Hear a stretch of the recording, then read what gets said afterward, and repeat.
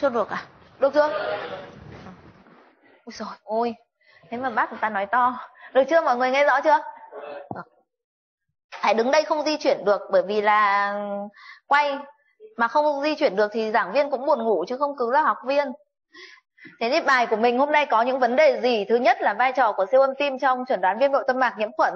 Thứ hai là chẩn đoán như thế nào? Và thứ ba là giá trị của siêu âm tim qua thành ngực và siêu âm, qua thực quản. Chẩn đoán phân biệt à, và cái viêm nội tâm mạc nhiễm khuẩn trên van nhân tạo, giá trị của siêu âm tim 3D và chỉ định phẫu thuật. Mỗi vấn đề này chỉ có một slide chữ còn lại là chúng ta sẽ xem hình và tất cả các vấn đề này thì nó sẽ liên quan đến các câu hỏi của các bạn. Mỗi một bài này có 20 câu hỏi trắc nghiệm đúng không ạ? Thì các bạn cứ chia cái này ra.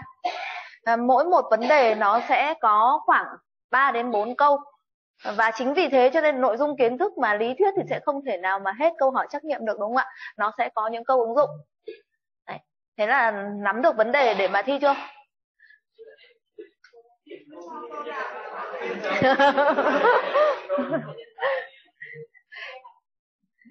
làm thử nhá nhưng mà chưa học thì làm sao mà làm được đúng không? Về cái vai trò của siêu âm tim thì siêu âm tim nó có thể chuẩn đoán xác định và chuẩn đoán các biến chứng của viêm nội tâm mạc nhiễm khuẩn. À, dự đoán được cái nguy cơ thuyên tắc dự đoán một phần thôi chứ không phải là là hoàn toàn và đưa ra được cái chỉ định và tối ưu hóa cái chỉ định phẫu thuật, ví dụ như là đưa ra chỉ định là cần phải phẫu thuật nhưng mình sẽ tìm được những cái vấn đề là à, làm như thế nào để cho cái phẫu thuật viên người ta nhìn vào cái bản siêu âm của mình, người ta sẽ bảo là à tôi sẽ làm theo cách này, tôi sẽ làm theo cách kia. Đấy là tối ưu hóa cái chỉ định phẫu thuật. Và siêu âm tim có vai trò trong theo dõi điều trị, kể cả nội khoa lẫn ngoại khoa. Về định nghĩa thì cái viêm nội tâm mạc nhiễm khuẩn là gì? Thế chắc là các bạn ở đây thì gặp nhiều và ngày càng nhiều cái viêm nội tâm mạc nhiễm khuẩn đúng không ạ? Cái viêm nội tâm mạc nhiễm khuẩn nó là một tình trạng nó bị viêm vào cái nội mạc của tim. À, nội mạc của tim ở bất kỳ vị trí nào. Và do nguyên nhân là nó là nhiễm khuẩn. Tại sao không nói là à, nhiễm trùng? Bởi vì ngoài cái vi trùng ra nó còn có thể có nấm nữa thì cũng là một cái nhiễm khuẩn và gây tổn thương các van và tổ chức khác trong tim. À, cái định nghĩa này nó sẽ giúp mình là khi mà mình đi làm à, siêu âm thì mình sẽ tìm cái tổn thương gì đúng không ạ? Đây là cái tổn thương trên giải phẫu bệnh và nếu như tôi không nhầm là trong cái một số cái ngày giao ban gần rất gần đây thì cũng có một cái hình ảnh viêm nội tâm mạc nhiễm khuẩn nó cũng à, tựa tựa như thế này đúng không ạ? Cái sùi thì trông là cái tổ chức có cái mũi tên đấy ạ. Và hôm trước thì mình đã được xem à, chính ra mình xem cái ảnh này thì mình lại rõ hơn là là cái bệnh nhân thật mà mình đã nhìn thấy trên giao ban. Nhưng nếu các bạn nhìn ảnh rồi thì các bạn nhìn cái hình ảnh kia mình cũng sẽ dễ à, để mà mình liên tưởng đến. Thế trong cái tổn thương ờ, của viêm nội tâm mạc trong siêu âm thì nó có những cái gì? Thứ nhất là có cái tổn thương sùi. Về mặt mô bệnh học, khi người ta mổ ra hoặc là người ta làm giải phẫu bệnh ra thì nó sẽ là cái gì? Nó là một cái khối, một cái mass mà của nội mạc và tế bào viêm cộng với vi khuẩn. Và trên siêu âm thì tương ứng chúng ta nhìn thấy cái gì? Thấy một cái tổ chức bám vào van hoặc là nội mạc của tim nó không có tính chất của cái mô lành nó khác cái tính chất của mô lành và nó có tính chất di động.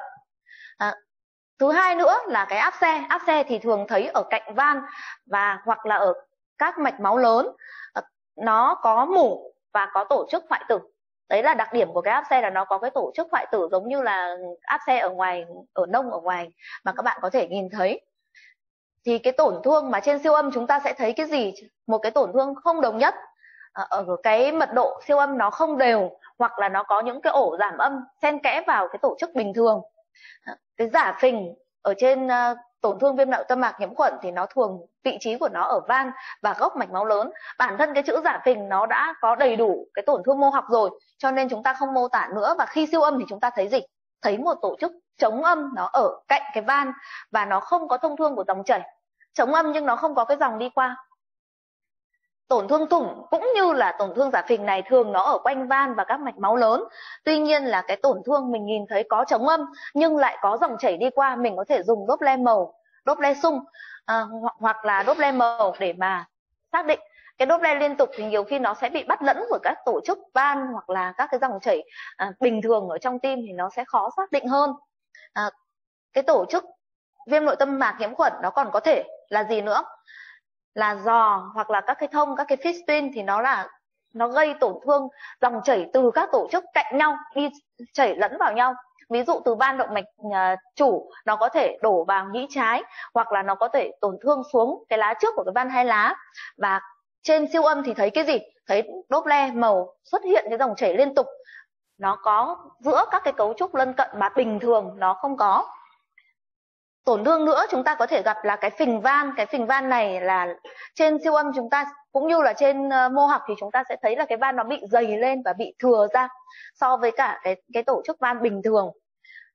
Siêu âm thì mình sẽ nhìn thấy là nó cứ bị lằng nhằng của cái mô van nó dày lên.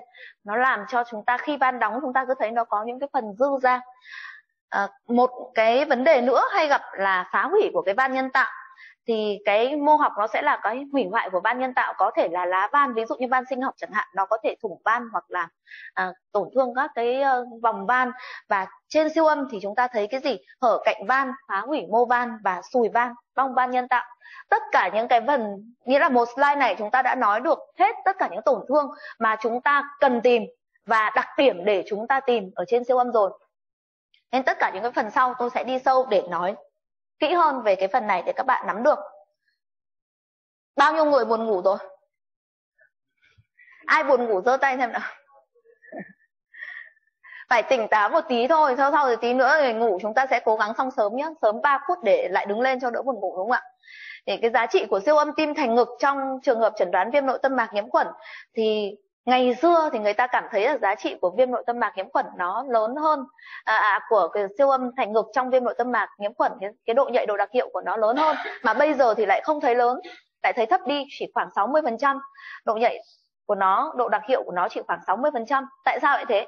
Tại vì bây giờ chúng ta nghĩ đến sớm hơn chúng ta có các phương pháp chuẩn đoán khác sớm hơn cấy máu dương tính nhiều hơn. Cho nên là chúng ta chưa nhìn thấy sùi trên siêu âm thành ngực mà đã phát hiện được và đã đủ tiêu chuẩn để chuẩn đoán là viêm nội tâm mạc nhiễm khuẩn rồi. Chính vì thế mà cái độ nhạy và độ đặc hiệu của nó giảm đi, chứ không phải là phương pháp siêu âm thành ngực, bác sĩ siêu âm thành ngực ngày càng kém đi, đúng không ạ? Chính vì thế mà cái siêu âm thực quản ấy, nó là một cái phương pháp xác định tốt hơn, thì người ta thấy độ nhạy, độ đặc hiệu của nó vẫn rất là cao, phải trên 90% và khi nào thì chúng ta sẽ làm siêu âm thực quản? Khi mà siêu âm thành ngực chúng ta không chẩn đoán được. Tuy nhiên chúng ta vẫn nghĩ ở trên lâm sàng là bệnh nhân có viêm nội tâm mạc nhiễm khuẩn hoặc là ở bệnh nhân viêm nội tâm mạc nhiễm khuẩn trên van nhân tạo. Và khi mà chúng ta cần đánh giá các biến chứng ví dụ thủng van áp xe van hoặc là những cái luồng thông mà chúng ta không xác định được rõ ràng ở trên siêu âm thành ngực. À, các bạn tưởng tượng là cái cái bài này của mình nó sẽ là một bài rất có tính chất thực hành. Nếu như các bạn làm cái van hai lá chẳng hạn thì à, như là bác sĩ Yến vừa mới nói cái hẹp van hai lá hiển nhiên chỉ trong cái van hai lá thôi đúng không ạ? Thế còn viêm nội tâm mạc nhiễm khuẩn là chúng ta đi tìm cái mà chúng ta chưa định danh ra nó là cái gì hết. À, hẹp van hai lá thì các bạn sẽ làm tranh áp rồi à, đường diện tích trên 2D diện tích trên PHT đúng không ạ? Nghĩa là ta biết chắc là à có từng này cái thông số để ta đi tìm. Nhưng mà nếu mà làm siêu âm đánh giá viêm nội tâm mạc nhiễm khuẩn thì ta không biết là ta gặp ai làm gì và tìm cái gì cả có thể thấy sùi có thể không đúng không ạ? Có thể thấy rồi thì à đấy là viêm nội tâm mạc nhiễm khuẩn. Nhưng nếu không thấy thì sao? Không thấy cũng không có nghĩa là là mình đã loại trừ được đúng không ạ? Mình phải đi tìm các cái tổn thương khác. Và tổn thương đó mình lại chẳng biết nó là cái gì cả. Ví dụ thủng thì biết là nó thủng ở đâu đúng không? Và trong cái, cái siêu âm bình thường hàng ngày chúng ta gặp làm gì có thủng? Cho nên đây là một cái tổn thương mà chúng ta khi tìm thấy nó là nó không biết nó là cái gì cả. Khi có mặt nó là có bệnh đúng không ạ? Còn không biết là nếu như không có nó thì chúng ta không thể nói được là à đây chắc chắn là không có bệnh.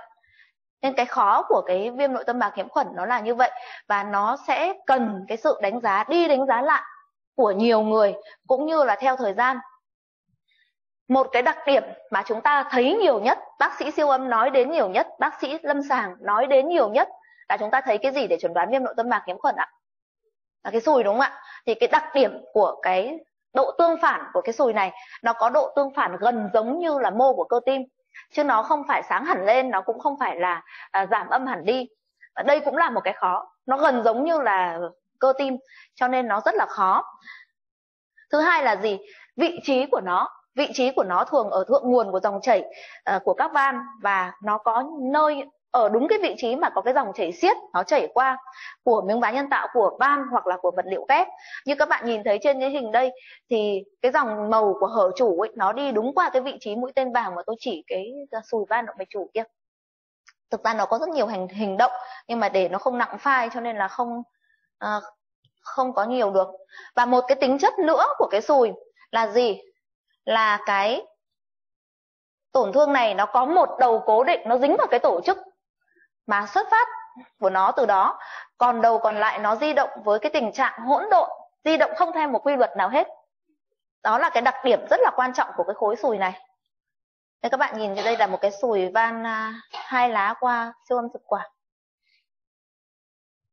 các bạn có nhìn thấy được không? Đây là lá trước của van hai lá. Đây, cái lá trước của van hai lá, cái tổ chức van bình thường đây nhá. Đây nó đang quay chậm. Cái tổ chức này chúng ta nhìn thấy là nó sắp sửa di động. Đấy nhìn thấy rõ không ạ? Cái chẩn đoán khối sủi ở trên siêu âm thì người ta tóm lại sẽ căn cứ vào những cái gì? À, cái phần này nó sẽ có một hai câu hỏi thi các bạn à, nhớ để mà làm test nhé. Thứ nhất là về đặc điểm của cái khối sủi đấy nó có cái độ mịn tương phản gần gần giống như của cơ tim. Và vị trí của nó ở đâu?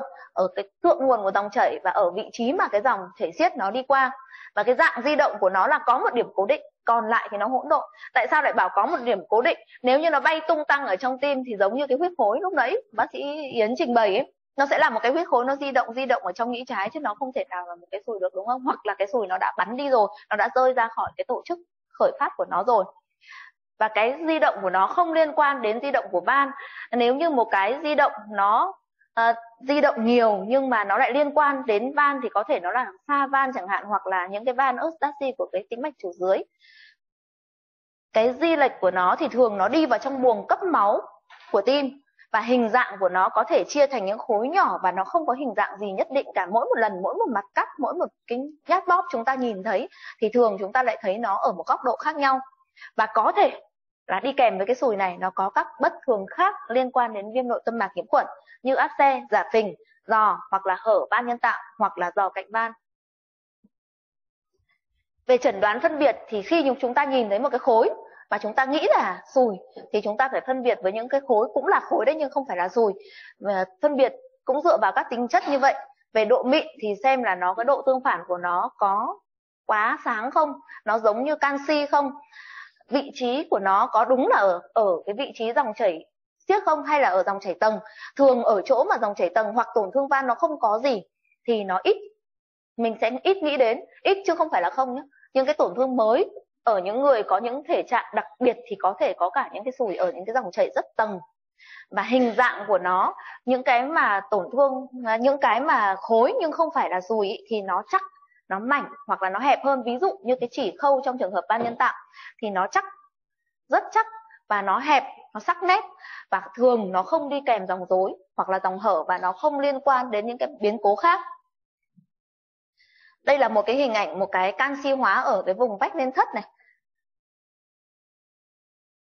À, khi nào thì chúng ta gặp cái trường hợp mà chúng ta hay chuẩn đoán là một cái dương tính giả nghĩa là chúng ta chuẩn đoán quá lên à, cái tổn thương à, viêm nội tâm mạc nhiễm khuẩn tổn thương sùi là trong siêu âm thực quản ấy, chúng ta nhìn rõ các tổ chức, các cấu trúc, cho nên là chúng ta hay bị cái tình trạng đó. Và một phần nó là cái ám thị của cái người làm. Ở đây bạn nào mà làm siêu âm thì biết. Ví dụ như chúng ta làm trên một cái bệnh nhân mà có quá nhiều yếu tố nguy cơ. Chúng ta lo lắng như vậy sau thấy một cái dây chẳng đứt chẳng hạn. Một cái nong van hai lá xong, bệnh nhân cứ sốt kéo dài chẳng hạn. Đây là ví dụ đưa ra một tình huống thực tế. Thì các bạn thấy một cái mảnh, nó cứ ve vẩy ve vẩy. Mình rất là hay nghĩ đến mà mình bảo, thôi thì mình cứ chuẩn đoán là sùi có thể nó chỉ là một cái dây chẳng nhỏ, nó bị đứt thôi à, những cái sùi mà bé quá thì chúng ta cũng nhiều khi chúng ta cứ nghĩ rằng là là sùi to chúng ta cũng cứ chẩn đoán quá lên một chút. Đáng nhẽ chúng ta không nhìn thấy đâu nhưng chúng ta có cái đầu óc của bác sĩ lâm sàng nên chúng ta có thể làm cho nó dương tính giả lên một chút. À, vật liệu của vòng van nhân tạo thực sự là như thế đấy chứ không phải là mắt ai cũng nhìn thấy đâu. Khi mà chúng ta nhìn hình chúng ta cứ ghi chẩn đoán vào như thế cho chắc. Cái chỉ khâu à, mà người ta cắt đi ở cái vòng van à, vòng van nhân tạo thì cái này khi mà mình có kiến thức chung thì mình sẽ áp dụng cho cái siêu âm của mình rất nhiều. Bao giờ cái vòng van cái, cái chỉ người ta cắt thường nó cũng ở mặt nhĩ. Cái đấy là liên quan đến kỹ thuật. Ở đây bây giờ các bạn đi um, có đi ngoại khoa thì các bạn vào xem xem người ta làm cái van nhân tạo ấy. Thì khi nào mà người ta hạ van người ta bao giờ người ta cũng khâu một nửa vòng van phía trên cao ở trên nhĩ. Mà người ta mở là mở nhĩ chứ không phải mở thất cho nên là khi người ta đã là khâu tất cả các cái chỉ rồi, thông thường người ta sẽ khâu chỉ đối xứng. Và số mũi chỉ nó sẽ chẵn chứ nó không phải là lẻ. Và cuối cùng người ta cầm cái van đấy, người ta ấn xuống và người ta buộc từng mũi chỉ. Cho nên khi mà người ta cắt, người ta phải cắt mặt nhĩ. Nếu cái tổ chức cứng cứng đấy nó lại nằm mặt thấp, thì mình không nên nghĩ đến chỉ khâu.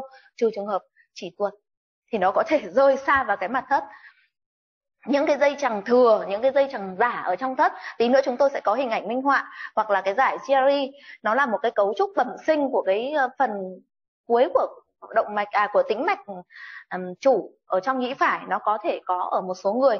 Nó quá phát và nó dây dài loằng ngoằng gần giống như cái vanus taxi ấy. À, có thể nó chỉ là cái dây chẳng đứt dây chẳng dính của cái van hai lá bình thường thôi. Hoặc là các cái khối đậm âm nhỏ ở màng tim hoặc là ở động mạch chủ nó đặc và sơ hóa và không vận động không di động. À, ở trong này chúng tôi có một trường hợp đây là bệnh nhân thực tế chúng tôi làm đây. Các bạn có nhìn thấy một khối ở cái lá đây là làm siêu âm tim qua thực quản nhé xin lỗi các bạn là cái hình này chúng tôi quay lại chứ không phải là lấy ở trên máy siêu âm ra cho nên nó không được đẹp. Và sau về không biết chỉnh nào cho nó đẹp. Đấy thì các bạn có nhìn thấy một cái khối của ở trên van động mạch chủ không? Cái khối này nó cứng và nó bám chắc vào van động mạch chủ. Nó di động cùng với lá van.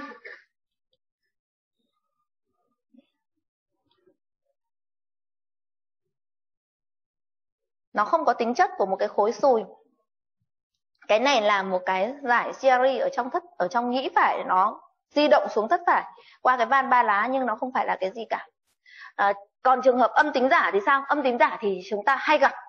À, ở trường hợp là sùi nó nhỏ mình làm siêu âm thành ngực thì mình chưa phát hiện ra. Cái này là do mình chưa phát hiện ra thôi. Và thực ra thì nó không có một cái quy luật nào cả. Chẳng qua là tóm lại là nó có mà ta không tìm thấy. Không tìm thấy thì nó có quá nhiều nguyên nhân đúng không ạ? Và một những trong những nguyên nhân đấy là do chúng ta do bản thân cái người làm chưa có kinh nghiệm. À, trong những cái giai đoạn sớm mình chưa phát hiện ra cái sùi. À, cho nên ở những bệnh nhân mà có nguy cơ cao khi mà chúng ta không phát hiện được cái tổn thương viêm nội tâm mạc nhiễm khuẩn mà lâm sàng chúng ta vẫn nghi ngờ, thì chúng ta cần siêu âm theo dõi, siêu âm thành ngực và siêu âm thực quản theo dõi sau 5 đến 7 ngày lặp lại hoặc là hai tuần hoặc là một tháng tùy theo cái tổn thương và tùy theo diễn biến lâm sàng. Cho nên nếu như một bác sĩ làm siêu âm mà chuẩn đoán không ra viêm nội tâm mạc nhiễm khuẩn, thì trách nhiệm không thuộc về bác sĩ siêu âm nhiều lắm, đúng không ạ? Trừ khi là nó tổn thương quá lớn mà chúng ta không biết, còn trách nhiệm là thuộc về bác sĩ lâm sàng. Vì nếu các bạn các bạn ngồi đây các bạn làm hai vai cho nên là các bạn phải thấy là cái vai trò của bác sĩ lâm sàng cực kỳ lớn. Nếu như các bạn không thấy viêm nội tâm mạc nhiễm khuẩn mà các bạn không tin cái người làm siêu âm thì bắt buộc phải check chéo lại. Làm một người khác làm lần nữa chứ không được quyết định là à tôi căn cứ vào ông. Rồi tôi bảo không có sau này nếu có gì ông chịu trách nhiệm không được đúng không ạ? À, trên cái van nhân tạo trên những cái vật liệu ghép à, trong trường hợp ừ, hôm nay chúng ta nói cái bài nó quá thời hạn nó cũng rất là ngắn nên là chúng tôi chỉ nói đến cái van nhân tạo thôi. Chứ thực ra thì không phải chỉ có van nhân tạo tất cả các vật liệu ghép nó đều có thể, tất cả những cái dụng cụ đặt vào trong tim nó đều có thể là cái nguồn mà gây viêm nội tâm mạc nhiễm khuẩn. Ví dụ bệnh nhân có máy tạo nhịp à, thì cái điện cực tạo nhịp nó ít thôi, nhưng nó cũng có thể là một cái nguồn mà gây viêm nội tâm mạc nhiễm khuẩn. Đặc biệt là bây giờ những bệnh nhân mà có dụng cụ hỗ trợ thất trái thì nó cũng là một cái nguồn mà có thể à, là một cái dị vật làm cho bệnh nhân dễ bị viêm nội tâm mạc nhiễm khuẩn hơn thì trên cái van nhân tạo chúng ta tìm gì? Chúng ta vẫn tìm cái sùi đầu tiên. Nhưng những cái áp xe cạnh van hoặc là những cái luồng thông những cái hình thành uh, những cái piston bất thường là chúng ta hay gặp hơn hay nhìn thấy hơn ở trên những cái van tự nhiên. Bởi vì là cái sùi chúng ta không nhìn rõ cho nên là khi nó tổn thương nhiều rồi chúng ta mới thấy. Các cái tình trạng phá hủy van phá hủy van ví dụ như van nó bị bong ra một phần hoặc là những cái hở cạnh van mà mới xuất hiện nên cái vai trò theo dõi nó cực kỳ quan trọng. À, thế còn siêu âm 3D bây giờ người ta nói đến rất nhiều đúng không ạ? Đây là đang là mốt. Thì giá trị của nó trong chuẩn đoán viêm nội tâm mạc nhiễm khuẩn như thế nào? Thực ra giá trị của nó không phải là lớn lắm. Nếu như các bạn đã từng làm siêu âm 3D rồi ví dụ như hoa ngồi đây là đã từng làm siêu âm rồi đúng không? Thì các bạn có thể thấy là nếu như mà cái máy của mình tốt nếu như mà kinh nghiệm của mình tốt thì mình có thể chuẩn đoán à, cái sùi trên 2D gần như là đã được đầy đủ rồi. Còn siêu âm 3D nó có giá trị trong trường hợp nào? Trong những trường hợp mà có tổn thương thủng van thì đấy là cái ưu điểm của siêu âm 3D bởi vì nó có thể nhìn thấy trên bề mặt của cái lá van. Còn bình thường mình làm siêu âm 2D nó là các cái cắt lát ra cho nên mình cũng không nhìn được cái tổn thương thủng một cách trực tiếp. Đấy là ưu điểm đầu tiên. Thứ hai là trên van nhân tạo đặc biệt là những cái van động mạch chủ. Thì dựa vào cái cúc cắt người ta có thể làm cái cúc cắt đi lên ấy, thì nó cùng một lúc đồng thời nó đưa ra hai bình diện để mình nhìn cái van động mạch chủ nên mình có thể nhìn cái van động mạch chủ tốt hơn. À, còn một vấn đề nữa là cái tương quan giữa tổn thương thủng và các tổ chức giải phẫu khác.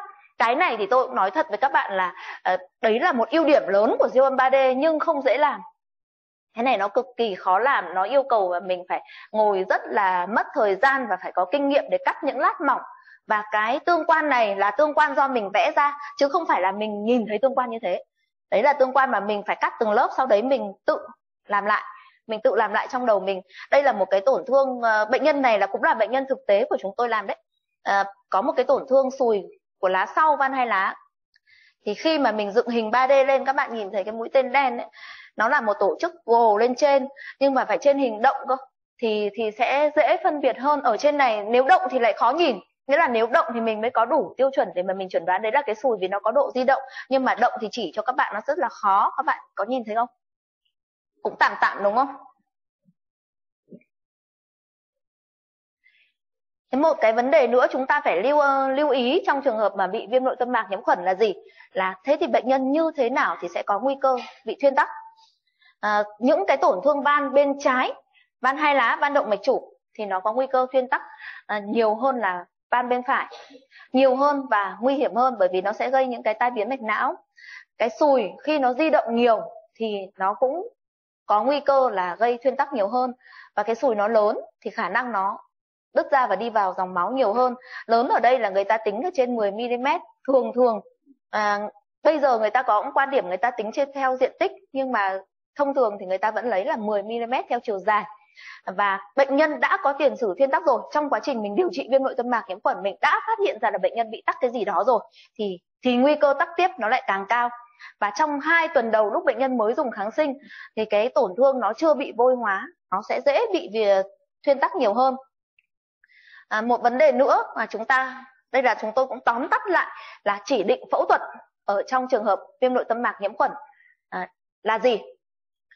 Là khi mà bệnh nhân có những cái tổn thương van cấp tính thường thông thường nhất nó là hở van hoặc là những cái tổn thương áp xe hoặc là những cái giò nó gây suy tim trái cấp tính hoặc là sốc tim thì cái chỉ định này nó là với mức độ bằng chứng là 1B. Một vấn đề nữa là trong trường hợp mà viêm nội tâm mạc nhiễm khuẩn nhưng mà không đáp ứng với kháng sinh thì không đáp ứng với kháng sinh nó có nhiều vấn đề thứ nhất là bệnh nhân ở trường hợp mà bệnh nhân à, người ta bị nhiễm trùng mà chúng ta dùng các phương pháp cấy máu thì không ra mà các phương pháp đều không khống chế được nhiễm trùng bệnh nhân vẫn có tình trạng nhiễm khuẩn tăng lên hoặc là bệnh nhân viện nhiễm à, một cái con vi khuẩn chúng ta cấy ra được có kháng sinh đồ hẳn hoi nhưng mà chúng ta dùng thực tế kháng sinh sau 5 7 ngày nó không có đáp ứng gì cả hoặc là bệnh nhân có nhiễm nấm hoặc là vi khuẩn đa kháng thì đây là một cái à, chỉ định cũng được xếp ở mức 1B.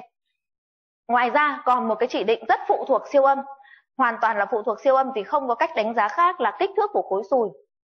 Thì những cái van tim bên trái mà khối sùi trên 10 mm thì có chỉ định phẫu thuật để làm gì? Để hạn chế cái thuyên tắc hoặc là sùi van bên trái khối sùi nó chỉ uh, sấp xỉ 10 mm thôi nhưng nó kèm theo một biến chứng khác ví dụ như là một áp xe hoặc là một cái giò hoặc là một cái giả phình của van chẳng hạn À, nếu chỉ chỉ định vào khối sùi thôi không phụ thuộc vào ban tim bên trái hay bên phải thì, thì người ta cũng cân nhắc tính đến trong trường hợp mà khối sùi nó trên 15 mm à, tại sao lại như thế? Tại vì các cái sùi bên phải ấy, dù nó có gây nhồi máu phổi đi chăng nữa thì cái tổn thương cái lúc ý người ta xử trí nó cũng tương đối là dễ hơn. Nên người ta vẫn hy vọng là nó có thể đáp ứng được mà không phải phẫu thuật. Còn một khi mà bệnh nhân đã bị ừ, tai biến mạch não rồi thì có phẫu thuật hay không vẫn là người tàn phế cho nên người ta bao giờ cũng ưu tiên cho các cái tổn thương bên trái nó hay gây di chứng nặng nề hơn. À, để kết luận lại cái bài trình bày hôm nay thì chúng tôi có một vài kết luận như thế này. Siêu âm tim nó giúp cho chẩn đoán viêm nội tâm mạc nhiễm khuẩn. Từ chẩn đoán xác định chẩn đoán biến chứng và giúp theo dõi diễn biến của bệnh. Ngày hôm nay có một phần chúng tôi gần như để ngỏ chưa nói đến là phần theo dõi của bệnh. Thì các bạn có thể tự làm cái phần này là theo dõi những cái biến cố y như trên. Vâng, nhưng theo thời gian. À, thứ hai là về kích thước sùi độ di động của sùi thì nó liên quan đến cái thuyên tắc mạch và siêu âm tim qua thành ngực thì nó không nhạy bằng siêu âm tim qua thực quản nhưng cả hai nếu chúng ta nhìn thấy sùi đều có độ đặc hiệu rất là cao à, chẩn đoán âm tính trên siêu âm tim qua thành ngực và thực quản thì cần làm lại siêu âm theo dõi nếu như mà trên lâm sàng chúng ta còn nghi ngờ. Và chỉ định phẫu thuật là khi có CT tâm cấp nhiễm trùng không khống chế được hoặc là sùi quá lớn. À, nhân dịp mùa xuân sắp đến thì chúng tôi uh, xin chúc các bạn vạn sự như ý và cái như ý trước tiên là lớp siêu âm này các bạn thu được một ít kiến thức và thu được nhiều điểm. À, xin cảm ơn.